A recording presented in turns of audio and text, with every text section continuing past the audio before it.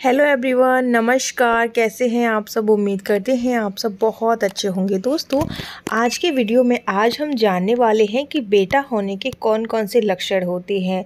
क्योंकि बेटा होने के लक्षण और बेटी होने के लक्षणों को लेकर जो गर्भवती महिलाएँ होती हैं, उन्हें बहुत ज़्यादा कन्फ्यूज़न होती है, बहुत ज़्यादा डाउट भी होते हैं कि कौन से लड़का होने के लक्षण होते हैं, कौन से लड़की होने के लक्षण होते हैं। और क्या ये जो लक्षण होते हैं, जो दिखाई देते हैं गर्भवती महिलाओं में तो क्या ये वाकई में हंड्रेड परसेंट तक काम करते हैं या फिर नहीं? तो सारी जानकारी आज इस वीडियो के अंदर आपको मिल जाएगी। आज हम काफ़ी सारे ऐसे जो चर्चित लक्षण माने जाते हैं, जो बहुत ही सही लक्षण माने जाते हैं, उनके बारे में बात करेंगे। लेकिन दोस्तों, सही बात करेंगे, इसकी सच्चाई जानेंगे, जिससे दोस्तों आपके जो डाउट है, वो क्लियर हो जाएँगे और आपको हमेशा जागरूक करना ही हमारा उद्देश्य रहता है। तो चलिए आज की वीडियो शुरू करते हैं। वीडियो स्टार्ट करने से पहले हमारे चैनल को एक बार ज़रूर सब्सक्राइब कर लें और पास में जो आपको बेल आइकन दिखती है, उसे दबाना बिल्कुल भी ना भूलें, जिससे कि गाइस हमारी हर आने वाली वीडियोस की नोटिफिकेशन आपको टाइम से मिलती रहे। चलिए दोस्तों, जान लेते हैं बेटा बेटी होने के सिम्टम्स तो दोस्तों, सबसे जो पहला लक्षण है वो ये है कि अगर गर्भावस्था के दौरान महिला का जो चेहरा है काला होने लगे देखिए काफ़ी सारी गर्भवती महिलाएँ ऐसी होती हैं जिनका चेहरा एकदम से काला होने लगता है और काफ़ी सारी महिलाएँ ऐसी भी होती हैं जो प्रेग्नेंट होती हैं जिनका चेहरा बिल्कुल भी काला नहीं होता है। लेकिन दोस्तों, मान्यताएँ ऐसी हैं, काफ़ी लोग मानते हैं कि अगर आपका चेहरा काला हो रहा है, बहुत सारे पिंपल आ रहे हैं, बहुत सारा जो डार्क सर्कल आँखों के नीचे आ जाता है, वो अगर आप में दिखाई दे रहा है तो ऐसे में चांसेस सबसे ज़्यादा बेबी बॉय होने के होते हैं। वहीं ऐसा माना जाता है कि अगर आपका चेहरा ड्यूरिंग प्रेगनेंसी ग्लो कर रहा है, बहुत ज़्यादा चमकदार शाइनिंग आ रही है चेहरे पर तो ये लड़की होने का संकेत होता है। लेकिन दोस्तों, ये बात पूरी तरह से सच नहीं है और सच जानना आपको बहुत ही ज़रूरी है।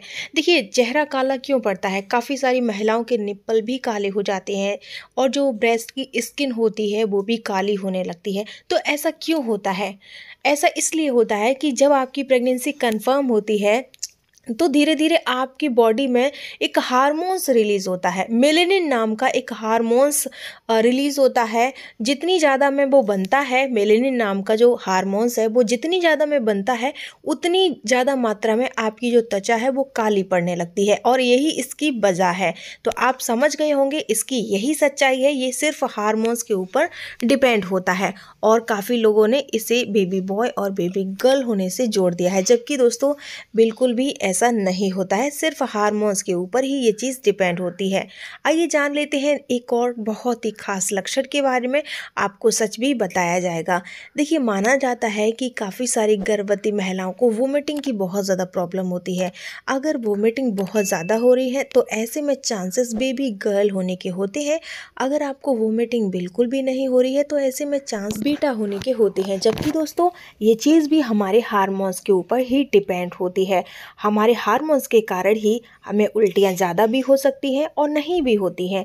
तो इस बात में भी बिल्कुल भी सच्चाई नहीं है कि अगर आपको उल्टियाँ ज़्यादा हो रही हैं तो गर्ल होगी और कम हो रही हैं तो बेबी बॉय होगा। ऐसा बिल्कुल भी ज़रूरी नहीं होता है।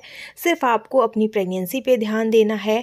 आप अच्छी डाइट लीजिएगा, ये सोचिएगा कि होने वाला बेबी एकदम हेल्दी पैदा हो और हेल्दी होने के साथ साथ एकदम कलर भी फेयर हो तो आप अपनी डाइट पे फोकस कीजिएगा, ठीक है? चाहे बेटा हो या फिर बेटी हो, है तो आपकी औलाद तो आप इन लक्षणों पर हंड्रेड परसेंट कभी भी यकीन ना करें। बस यही गुजारिश करती हूँ आपसे। तो गाइस अगर आप हमारी बात से थोड़ा सा भी सहमत हैं तो प्यारा सा कमेंट और वीडियो को लाइक करने के साथ साथ चैनल को सब्सक्राइब दोस्तों ज़रूर कर लें। आज की वीडियो करते हैं, यहीं समाप्त। मिलते हैं नेक्स्ट वीडियो में और किसी टॉपिक पर। तब तक के लिए टाटा बाय बाय अपना ध्यान रखें।